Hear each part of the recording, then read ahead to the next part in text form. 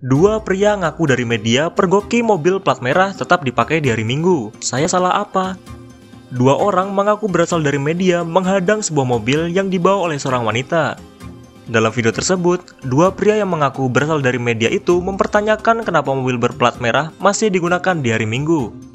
Dari pria itu, salah satu memegang telepon genggam diduga merekam. Sedangkan pria lainnya memberikan pertanyaan. Ini kan di hari Minggu, Bu ya. Kerja apa di hari Minggu ini? Tanya pria tersebut.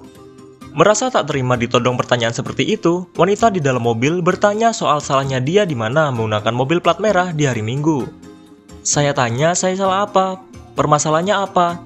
Banyak yang pakai plat merah, ucapnya.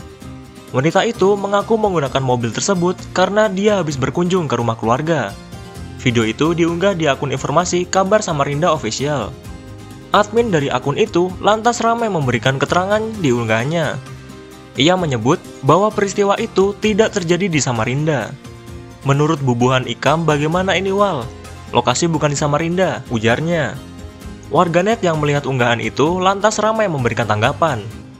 Di kolom komentar, banyak dari mereka yang juga menyatakan bahwa mobil plat merah memang tidak seharusnya dipakai di hari libur. Terbiasa untuk salah, akhirnya tidak pernah merasa bersalah, katanya. Sebenarnya kan memang ada aturannya, nggak boleh dipakai untuk kepentingan pribadi. Jelas salah satu warganet.